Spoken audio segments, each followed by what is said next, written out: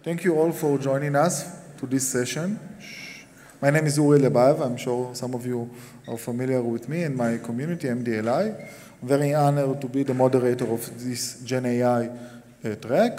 Unfortunately, um, Ofir Bibi from Lightricks was not able to be here today, so we will start from our second lecture, and I'll be happy to invite uh, Ofer Lavi from DataSpan to speak about if can AI train AI. Thank you.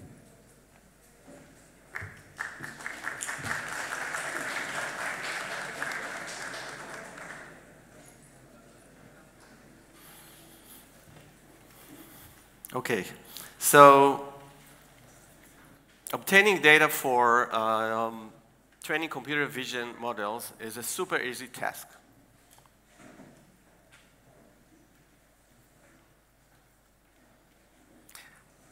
Said no one ever.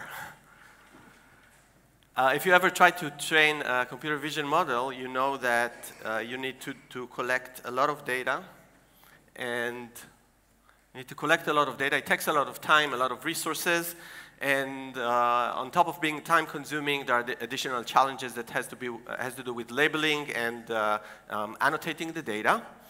And even if you have a model that was trained um, and is deployed out there, sometime, sometimes it's very, very hard to collect enough data along the time. It might, might take a lot of time to uh, collect edge cases and collect data uh, at all the conditions that uh, you are looking for in the real world. And we call this problem the death valley of unattainable uh, data. The model performance is held back by data you cannot uh, collect. So the question is whether GenAI can help here. And exactly this, this question was asked by a group of researchers from Google Brain uh, about a year ago. And what they did is they took a they took uh, uh, a diffusion model and they fine-tuned it just as many uh, tasks in computer vision. They said, okay, let's start with ImageNet. And they fine-tuned the uh, model on each class of ImageNet.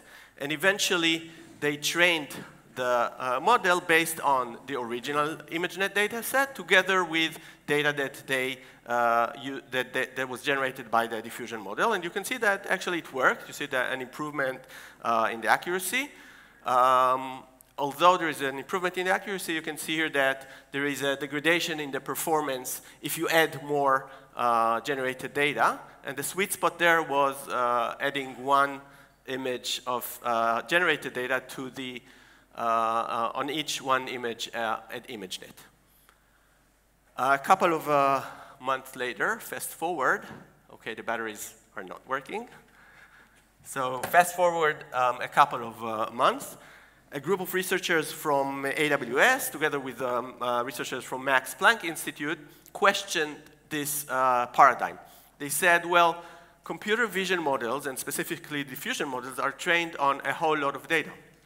So why do we need to go through the proxies, through the diffusion model, in order to extract the information that is out there in the data? Why can't we just use the data that was uh, used to train the diffusion model, and that's exactly uh, what they did.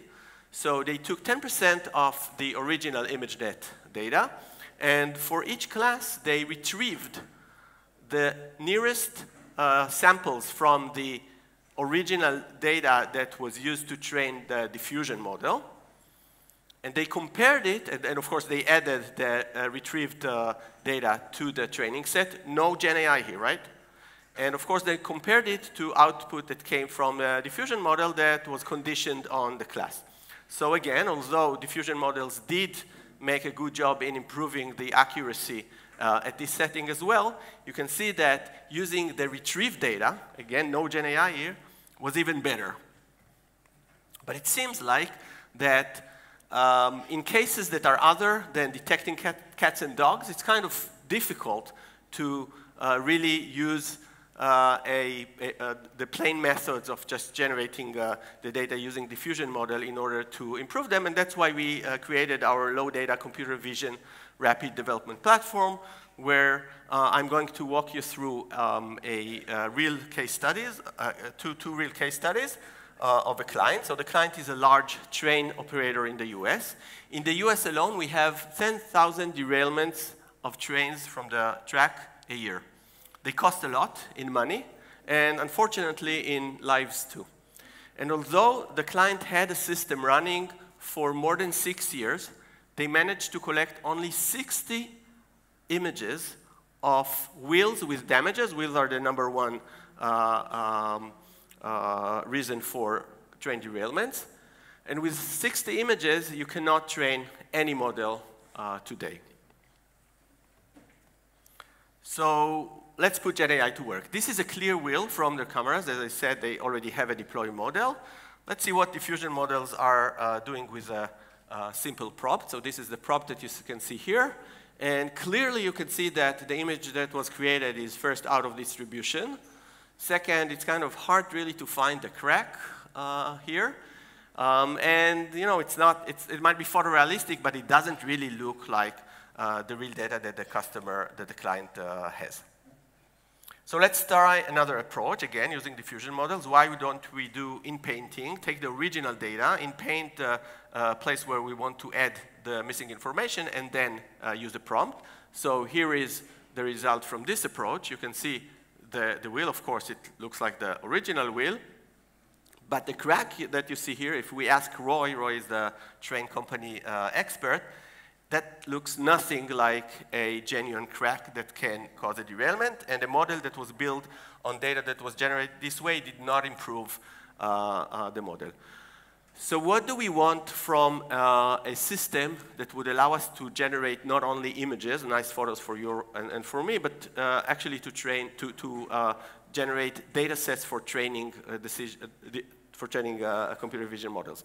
So we want to keep the original distribution as you saw, you want to add, we want to add the missing aspect, the cracks or whatever damages that we want to add uh, in my example. We want those aspects to be as genuine as possible. And on top of all, we want the whole data set. We don't want just a single image, and we want the whole data set to improve the downstream model. And the full process needs to be optimized for this rather than for generating uh, beautiful images. This is the heart of the process. What you see here at the center is a feedback loop, uh, pretty similar in, uh, conceptually similar to uh, uh reinforcement uh, through human feedback, uh, like the technology that transformed GPT to ChatGPT. And throughout this feedback, after generating the original, the, the original generated data, the human can provide feedback. The feedback can be both uh, textual and quantitative in order to improve the, um, the uh, model itself. The user answers two questions, the where questions and, and the what questions. Where exactly do, do we want to add the concept that is missing? And what exactly should be generated there? So one can use a variety of unsupervised, supervised, prompt-based, few shots learning, uh, methods in order to uh, answer this question, and that's what the platform helped the user to do. You might ask yourself, of course, if the data is indeed uh, similar to the original data. So you can see here a projection. Um, the colors correspond to different clusters, mainly different types of damages in this case in uh, circles, you can see the original data, and, in, uh, uh, the, and the generated data is denoted by plus signs. You can see that the plus signs, uh, the generated data, fits quite well uh, within the uh, area of the real data. You can also see the red area up here, where no generated data is available, and that really gives the user a hint on where should we go next? Okay, so now I'm going to examine what types of damages are there in this red cluster, and do the same process, the same uh, generation and feedback process in order to uh, add more data for this, uh, uh, uh for this uh, cluster. We can reach the level of generation that, that we reach by doing this iterative loop. So the user can provide feedback, as I said before, both textual and thumbs up, thumbs down. and we get the, log, the logs in order to um, generate uh, or, or improve, refine the process of uh, generating the new batch. So again, this is the clear wheel, the one that you saw before. This is a crack that was generated by uh, our system. And we are using the same method for other use cases. You can see here the improvement that we got from original data on a defect detection setting uh, with another client, reducing the error rate from 1. Point, uh, from around 14% to uh, 1.5. And you can also see here that the uh, iter iterative process uh, of the feedback actually helps to improve the model. So last, I want to thank the research group um, at DataSpan, including Ro'i and Almog and um, Elad, and also our collaborator, collaborators from uh, uh, Acridata, Sanjay, and uh, the team. Thank you.